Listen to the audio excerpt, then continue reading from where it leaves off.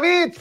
Y me estoy frotando las manos porque tremendo cerradón de hocico que le pusieron al exsecretario de Gobernación, Santiago Krill, aquel que no vio cuando era secretario de Gobernación las corruptelas de Genaro García Luna, que ya empezaba en el mundo del AMPA desde sus cotos de poder como autoridad, que lo llevaron a ser declarado culpable de ser cómplice de narcos, de pactar con los narcos, usted sabe, allá en Nueva York. Ese mismo Santiago Krill que anda muy envalentonado contra el presidente Andrés Manuel López Obrador. Bueno, pues a este video y a otros que ha subido a las redes sociales Santiago Krill, hubo, para eso hubo respuesta el día de hoy, por el presidente y por el secretario de Gobernación. Vea y escuche a Santiago Krill eh, hablarle a Andrés. Qué respetuoso este señor. A ver, don Santiago, repita 500 mil veces. Señor presidente, señor presidente, le duela o no le duela, le pese a quien le pese, señor Santiago Krill, es su presidente. Vea y escuche. Andrés, seamos serios. Yo te lancé un reto y tú me respondes con otro. Yo no le doy vuelta a las cosas, las enfrento directamente. Ahora buscas afectar a los empleados del Poder Judicial y sus familias. No es por ahí. Aunque si ese es tu interés, habla con la presidenta de la Suprema Corte, te va a escuchar. Y yo, con gusto, los acompaño. ¿Quieres más dinero para ver, A ver, a ver, a ver, a ver, a ver. A ver. Primero, ¿quién es el estilista de este señor para demandarlo? Parece que le pidió prestada la peluca a Globolín. ¿Qué, pedo, Toño? O sea, ¿soy yo o, es alguna edición especial que le hizo don, don David? O, trae el cabello tipo, no sé, ¿te acuerdas de aquella película, El, el Luchador? Ah, no, no, no. ¿Qué, pedo con el, cabello de, Santiago Krill?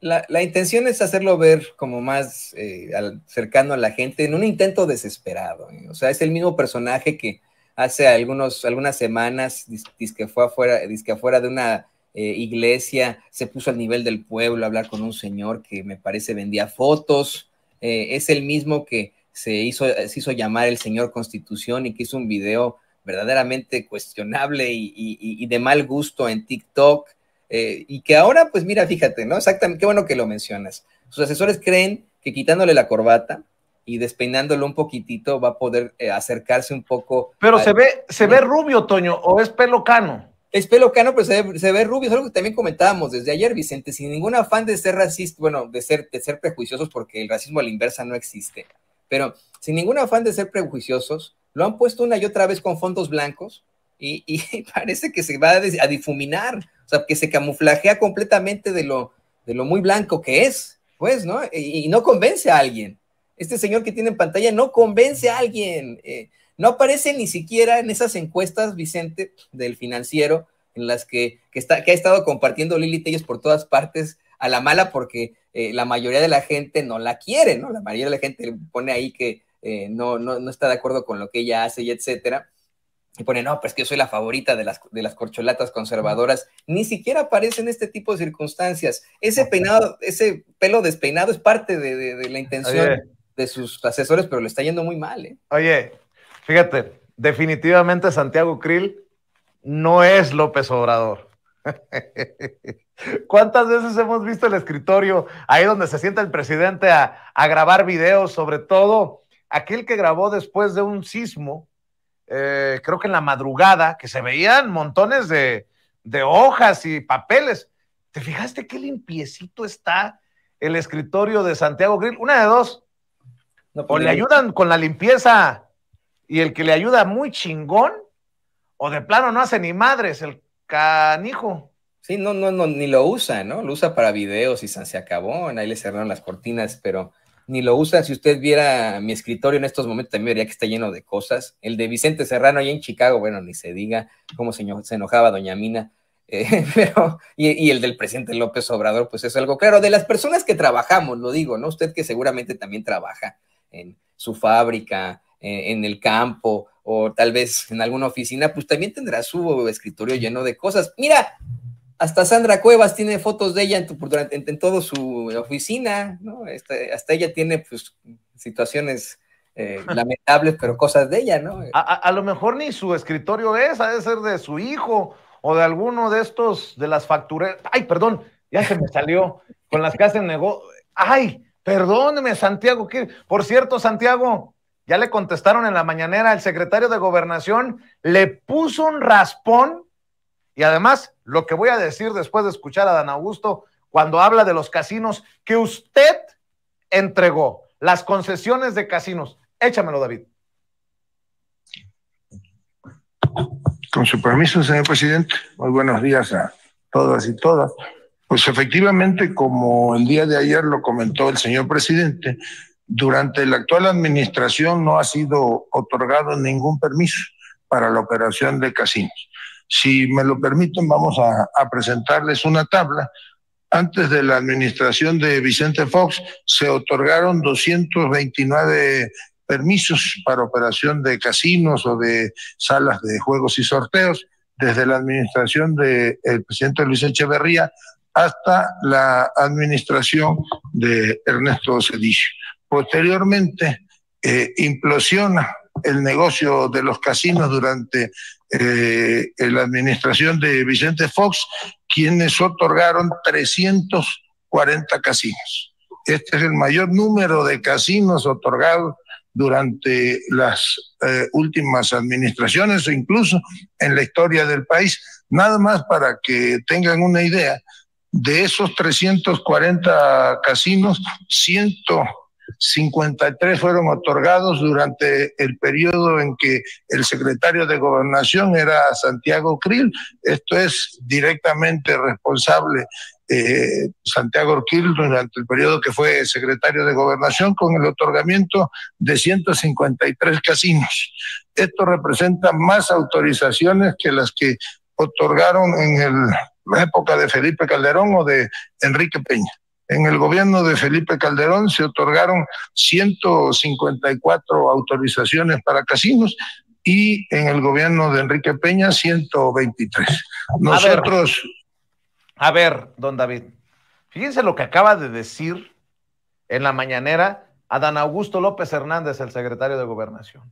Santiago Krill fue el que cuando era secretario de gobernación, se bajó los pantalones para favorecer a esto de los casinos, a esta industria de los casinos. Toño, ya ves que le había dicho al presidente, voy a intentar ser eh, eh, eh, breve con tres, con tres planteamientos. El de mi papá, el de las groserías, y le iba a plantear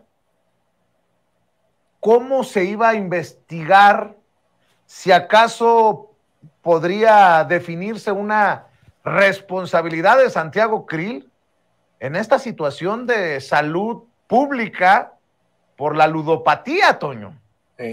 La ludopatía es aquello de, de aportar compulsivamente. ¿Cómo estos cabrones nos han llevado a un problema de salud? O sea, Krill y sus cómplices. Toño, no es poca cosa lo que estoy mencionando. Regreso al tema de Navojoa. Oye, yo sé de gente que literalmente ha perdido todo por estar en el casino. Y, muchos dirán, pues cada quien su pedo. No. Estos tienen que tener una responsabilidad por tantas concesiones y por haber inundado nuestro México en algunas zonas a punta de casinos. ¿O no lo crees? Sí, mira, Vicente, eh, es un padecimiento psiquiátrico la ludopatía.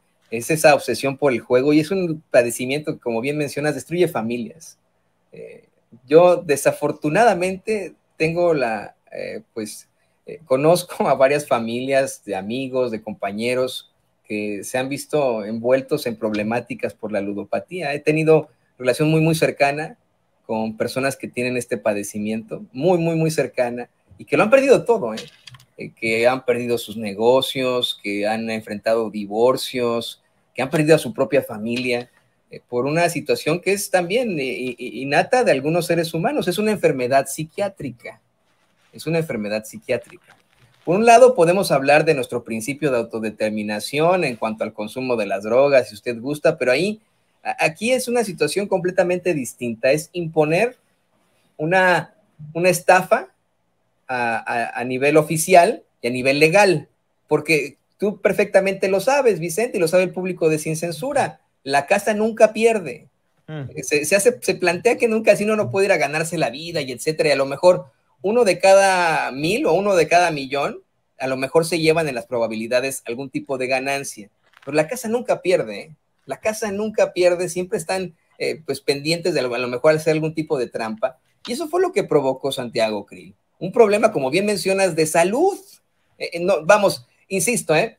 Eh, uno puede pensar que a lo mejor con el principio de, determinación nos podemos hacer una, cervecita, podemos borolear si tú quieres, o incluso eh, ahora que se está hablando de la regularización de la marihuana y etcétera, eh, ese es otro tema, ¿no? Allí la gente puede decidir o no si, si fumar marihuana o no, esos más bien dejan que la gente decida en cuanto a ese caso. Aquí se imponen negocios en distintas partes del país y están duro y dale, ven a mi casino, ven a mi casino, están en los medios de comunicación, apuesta para este partido, que esa es otra, ahí también se pierde mucho dinero, apuesta para el tal partido.